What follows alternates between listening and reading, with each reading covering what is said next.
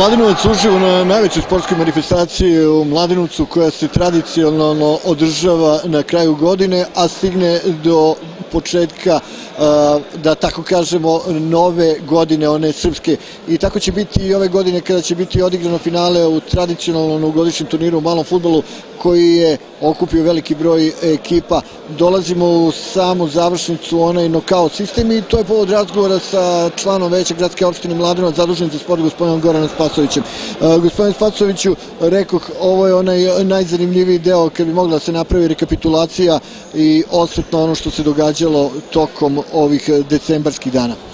Pa pre svega pozdrav vama i vašim gledalcima. Ono što ostavlja poseban utisak ovogodišnjeg 29. po redu novogodišnjeg turnira u malom futbolu je da nikada veći broj kvalitetnih utakmica nije bio. Mi, iako smo želeli da napravimo i nekakvu vrstu poludirigovanog žeba po prethodnim rezultatima, poznavajući ekipe koje dolaze, ipak nismo uspeli a da, da izbegnemo e, dobre utakmice u kvalifikacionim grupama. To je prvi utisak e, pred takmičenja. Danas smo drugi dan e, baraža i mogu da kažem da je publika prezadovoljna. Izuzetno kvalitetne utakmice, neizvesne utakmice, ali ono što je opšti utisak to je da je svaki put pobedila ekipa koja to apsolutno zaslužuje. Ono što može da se zamisli osmina finala i četvrt finala zaista nešto što sigurno do sada nije viđeno u Mladenovcu. Ono što je bitno, treba napomenuti, Da li je ovo profitabilno kad pitaju građani Mladenovca i zaljubljenici u sport? Jedan sasvim pristojan nagradni fond je u pitanju.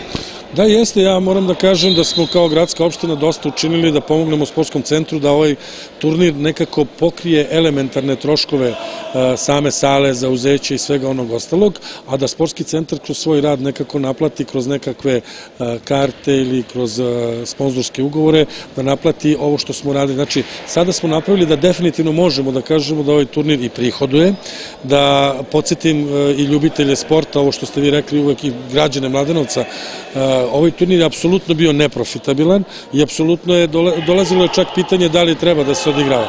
Sada smo pokazali da to apsolutno treba u ovom gradu.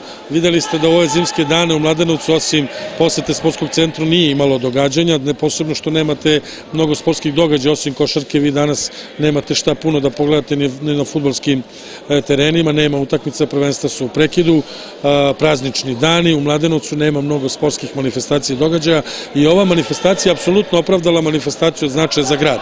Zašto manifestacija od značaja za grad? Zato što je ogroman broj publike, nikada veći verovatno zahvaljujući tome što smo u sportskom centru uspeli da uradimo i u velikoj hali rasvetu, da uradimo grejanje, da popravimo daleko bolje nego što je bilo prethodnih godina. Sami uslovi u sali su daleko bolji za publiku, publika to zna da ceni i da poštuje, a i kvalitet utakmice je pokazao da veliki broj ljubitelja futbala u Mladenovcu e, zna da gleda mali futbal pre Ono što treba napomenuti za, za gledalce koji prate portal Mladenovac uživa, koji nisu iz, iz Mladenovca, čitao sam, da tako kažem, šta se događalo ovih dana u okruženju e, na nekim turnirima, pa hajde sad da se mi ne hvalimo mladenočani kako je ovde sve med i mlajko, a tamo je bilo loše, ali ipak da kažemo da je ovde jedan pristojan nagradni fond, nisam rekao 600.000 dinara. Da, jeste, naravno, to smo dali za sve kompletno, i za veterane, i za seniore.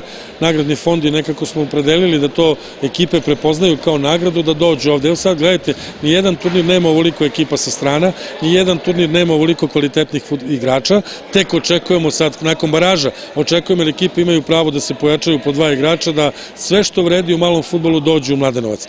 Ja očekujem od sutra zaista paklene utakmice, evo gledao sam skoro neću reći sve utakmice, ali 90% utakmice, sve što sam video ovde, plasiralo se u osminu finala. Osmina finala će biti zaista šlag, e, krem, rekao bih, krem krem malog futbala kod nas ovde u hali. Da kažem našim gledalcima polufinalne i finalne duele prenosit ćemo direktno, zajedno ćemo ovako da, da, da ih prenosimo kao i prošle godine uz, uz konsultacije da bi to bilo lepše i za kraj da spomenimo da se priprema i onaj tradicionalni i za najmlađe. Da, naravno, pa šta bismo mi ovde radili ako ne bismo stvarali preduslov da naši mlađi nastave ovo što se radi. To i jeste poenta. Vi već na ovom turniru imate celu jednu generaciju koja je u tri ili četiri ekipe nastupila na ovom turniru u raznim grupama i u seniorskoj konkurenciji i to je ono što ćemo sledeće godine celu jednu generaciju ponovo dobiti. I Mladenovac na taj način povećava svoj potencijal i kapacitet u malom futbalu, posebno u futsalu. Ja stalno kad govorim futsal i mali futbal, nekako to čini mi se da još uvek naši ljubitelji sporta u Mladenovcu ili građani ne, ne razumeju baš dovoljnu razliku, ali to je jako važno da znaju.